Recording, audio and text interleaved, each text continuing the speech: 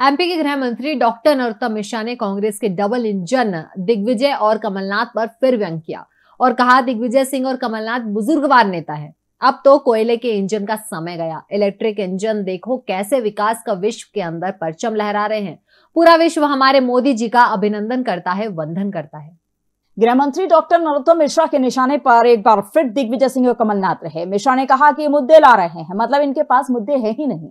जब कमलनाथ की सरकार थी, तब बल्लभ भवन दलालों का अड्डा था। किस तरह से लॉ एंड ऑर्डर चलता था, लाओ और ले जाओ। एक ऑर्डर लाए और दूसरे का ऑर्डर निरस्त कर दिया। भ्रष्टाचार के आकंठ में डूबे लोग क्या आरोप लगाएँगे? कांग्रेस के डबल इंजन दिग्विजय और कमलनाथ पर नरोत्तम मिश्रा ने कहा कि दिग्विजय सिंह और कमलनाथ बुजुर्गवार नेता हैं। अब तो कोयले का इंजन का जमाना गया। इलेक्ट्रिक इंजन देखो कैसे विकास का विश्व के अंदर परचम लहरा रहा है। देखो, वो बुजुर्गवार नेता है, दिग्विजय सिंह, कमलनाथ और उनको कांग्रेस के लोगों ने डबल इंजन कहा है। तो मैं जिनने कहा है उनको बता दूँ कि ये कोयले के इंजनों का जमाना खत्म हो गया।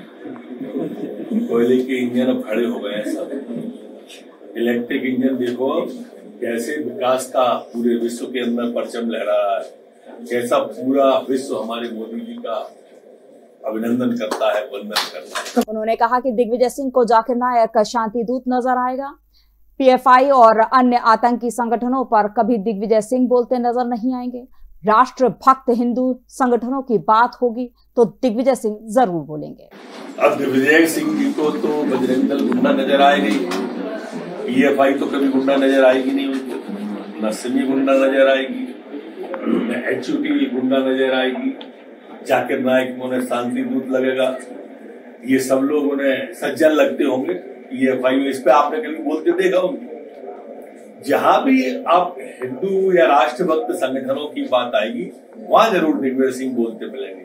कभी पीएफआई पे सिमी पे बोलते ही नहीं मिलेंगे जाकिर नायक पे आप। इंदौर शहर में भगवा जिहाद को लेकर लगाए गए पोस्टर को लेकर गृह मंत्री मिश्रा ने जाँच के निर्देश दिए हैं। गृह मंत्री ने कहा कि कल ही इस मामले में एक सौ तिरपन के तहत कार्रवाई की गई है। मैं अभी निर्देश दे रहा हूँ कि इस इलाके के सारे सीसीटीवी फुटेज चेक किए जाएँ। जिन्होंने शांति भंग करने की या भ्रम फैलाने की कोशिश की है, उनको नहीं बख्शा जाएगा। कल ही इस एक सौ तिरपन के तहत कार्रवाई कर दी गई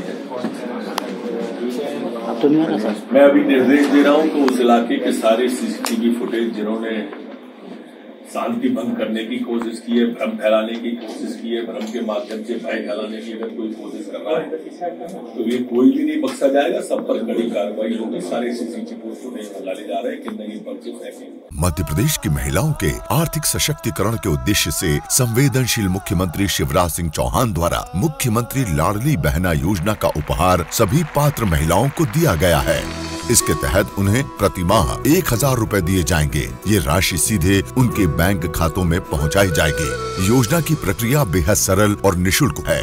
योजना से जुड़ने के लिए बहनों को कहीं भटकने की आवश्यकता भी नहीं है। दस जून को पहली किस्त बहनों के खाते में आ जाएगी एक हज़ार रुपया की पहली किस्त। योजना से जुड़ी अधिक जानकारी helpline number zero seven double five two seven double zero eight double zero एवं website C M Ladli Behna dot M P dot G O V dot in पर प्राप्त की जा सकती है। चलो बहना। वो खबरें जो आपके काम की है। वो खबरें जो आपके लिए ज़रूरी है। हर आम और खास से जुड़े मसले। हर मसले का सटीक विश्लेषण। हम करते हैं सत्य का अन्वेषण।